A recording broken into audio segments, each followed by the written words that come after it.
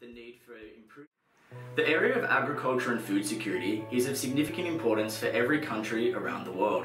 Despite the need for stability in this area, developing countries still lack the basic agricultural practices needed for prosperous and healthy communities. Project Everest is dedicated to working towards the Sustainable Development Goals, in particular number two, which is ending world hunger, the need for improved food security, improving nutrition, and improving sustainable agriculture.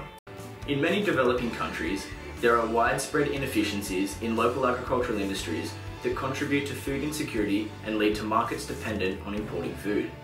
Project Everest is seeking to improve this agricultural productivity. We want to make varied and nutritious diets more affordable while still ensuring local economic empowerment.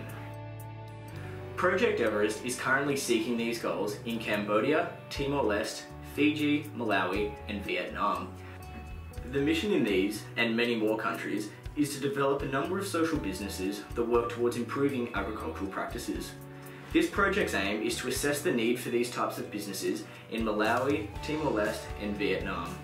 There is always an opportunity to further diversify these businesses and help them become more stable and more secure into the future.